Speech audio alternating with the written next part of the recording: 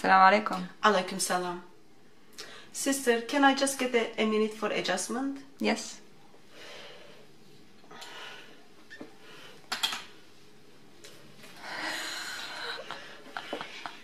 Your name has changed now? Yeah, I call myself Aisha now. So can you tell us what happened? Oh, I'll tell you from all from the beginning, sister. You will love this. So I grew up in a Christian household. My mom's cousin's dog's vet was singing in the church. I was so close to her. And also my father's stepbrother's cousins cousins was a youth pastor in the same church. I went to church so often. I went every Christmas. I went every Easter.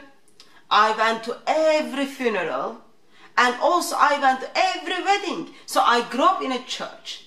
I grew up in a Christian household. But I was never able to ask questions about Jesus because I never understood Jesus. I never liked reading, but I couldn't ask people about. I didn't want them to think I was crazy woman. And everything suddenly changed. So I went this. Now I know what it is called. It is Dawa store. But in those days I didn't know. So I went to this book table, and then I asked this very handsome young man about who Jesus is. He told me Jesus is the messenger of Allah. He told me Jesus made miracles. I knew that moment. Not only this man was for me, but also Islam was for me. I was so curious. I asked them if there is any book I can read about Jesus. They gave me book called Quran. It was all Arabic. But the way this brother recited to me just made me cry. I was so emotional as I heard what he was reciting. That was the second sign from Almighty. I knew God made me to be Muslim. We exchanged the numbers because he wanted to know how I feel about the Quran once I read it. Following day, just following day, he called me. We met. As he walked into this coffee shop, which was next to the falafel shop, I knew, I knew Almighty made one, Almighty made him for me and me for him. He asked me to marry him just on our second meeting. That was the moment my life all changed. I never been so happy. I'm so grateful I am Muslim. But as you know, sister, it is very hard to be Muslim, especially when you put the hijab on. Life is just so difficult. Persecution after persecution, bullying, mocking, bullying, mocking. It is just so hard. But Almighty gave me strength. I was able to deal with all of it. Now, it is so difficult for me to get a job. But what I decided to do, with the wisdom Almighty giving to me, I am gonna make like videos like this to debunk Christian faith. If you want to support my work, please, please go Patreon and support my work. Because as I said, it is very difficult to be revert Muslim woman. You are rejected, but only with the help of Ummah I can stand strong. Only with the help of Ummah we can help Allah out. Only with the help of Ummah we can defend the honor of our Prophet. For me to do that, for me to debunk Christian faith, go and support me in Patreon. Link is below. When he gave you the Arabic Quran, uh, did you know what's, what was in it? Actually, as you can see, my language is English, so I don't know Arabic, but the writing just looked so beautiful. And then when I asked him what he was reciting, he recited it again. It wasn't what I understood, but it was how I felt as I heard it. And I know he was reciting Surah 98 verse 6. It is one of the most beautiful verses of the Quran. So you had a Quran which you didn't understand, and he was reciting it, you didn't understand it. But can you tell us how he that answered your questions?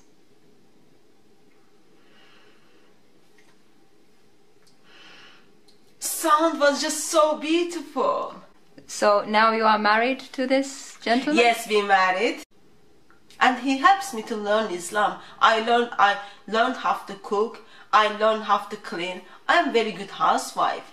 He's actually waiting me to go and meet with him because, as you know, sister, out is so outside is so dangerous. We can't just go, go on the street. He had to bring me here.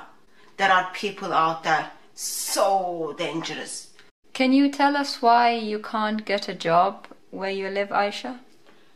Sister, you've been Muslim. You know how hard it is to revert to Islam. Once you become a Muslim, once you revert to Islam, people just don't like you. There are those Islamophobias. They are just so dangerous. Can you believe? I've got all those skills. I got my eyes done. I got my tooth done. My husband take cares of me, like Surah 434 says. But because I put the hijab, therefore I can't get a job. Therefore, I set up Patreon account for people to support me so that I can make videos to debunk Christian faith. So, uh, about debunking the Christian faith, uh, what do you know about Christianity? Oh well, they go to church every Christmas.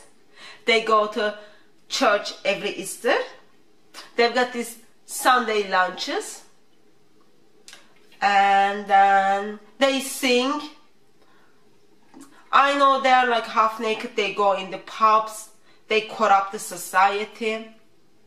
And oh well, I grew up in a Christian household, so I know more. In, mo I know so much to simply debunk it. Have you tried taking some of your questions to a church or to a Christian person? I was never felt comfortable to ask. I, I didn't like reading. I never liked reading. So I wasn't I didn't like reading the Bible. What are your plans now, Aisha? Long term plans? Oh well, I've got already two babies.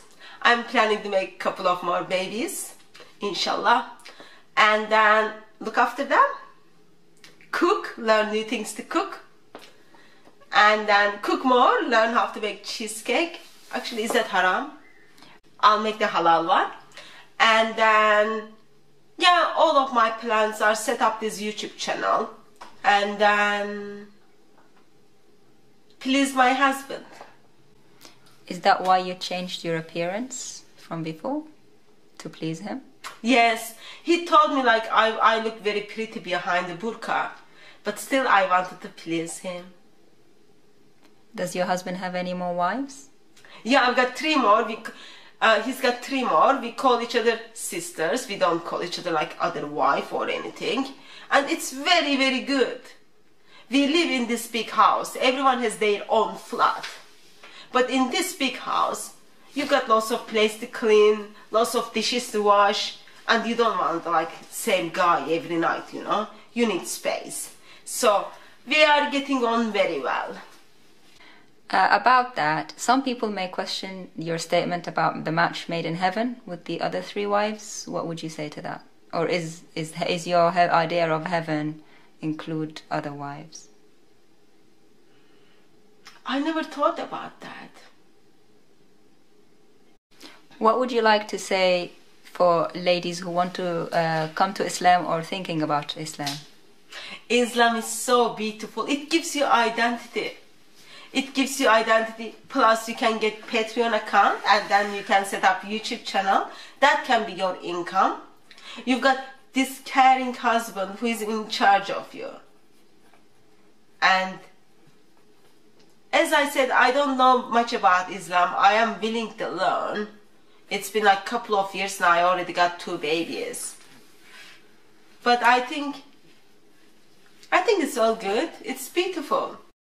Do you think one day you'll take off the burqa if you felt like it? I love, my husband loves how I look. I am not going to change anything until he tells me to do so. Because you know there are consequences of it.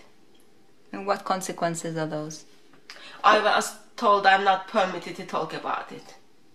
But I know there are the consequences if I decided to not wear burqa. And I feel be- very beautiful with this hijab. Do I look nice? Yes, my husband told me it's alright. Thank you, Aisha. Oh, I. Have you got this? Can I have a second until I need to get ready to go out? My husband is waiting for me. Okay, sister.